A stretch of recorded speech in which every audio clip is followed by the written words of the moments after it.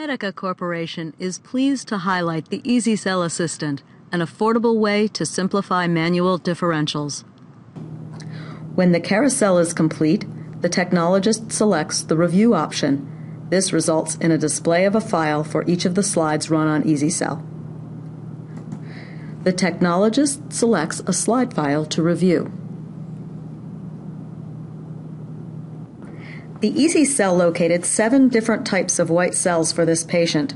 They are listed in the category buttons on the left side of the display. The technologist examines the segmented neutrophils and determines that they are all classified correctly. The tech identifies toxic granulation in the segmented cells. The technologist next verifies bands and switches to medium size images. This is followed by a quick inspection of lymphs monos, eos, basophils, variant lymphs, and nucleated red blood cells. The technologist next examines non cell categories starting with smudges. Unknowns are viewed in the small image size.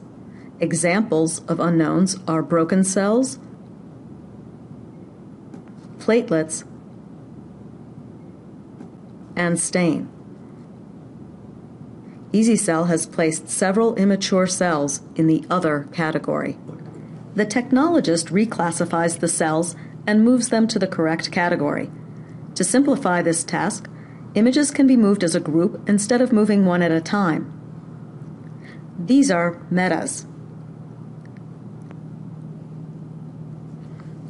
These are myelos.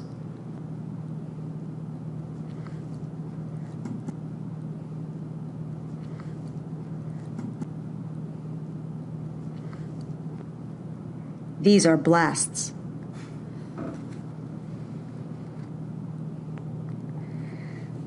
The technologist returns to the blast category and adds one image to the report. In the same way, one myelo is added to the report. The technologist moves on to the red blood cell screens to verify morphology and the platelet estimate. The technologist is required to examine all red blood cell images within four screens. On this screen, the technologist observes several morphological anomalies and records the information in the columns to the left. The size of one red blood cell is measured by clicking on one edge and dragging to the opposing side. This cell is identified as a macrocyte. Other size and shape features are recorded in the morphology columns on the left, such as hypochromatic, polychromatic, microcytes, schistocyte. And on the second page, a giant platelet is found. Finally, the technologist records an increased platelet estimate and the presence of a giant platelet. Next, the technologist adds a custom comment to the report, noting that pear shaped cells were observed.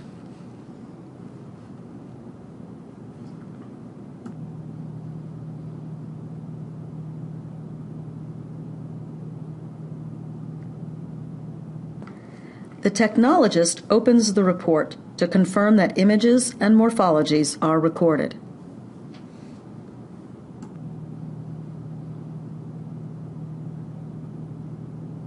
It is recommended that quality control, or QC, be run once per day depending upon lab policy.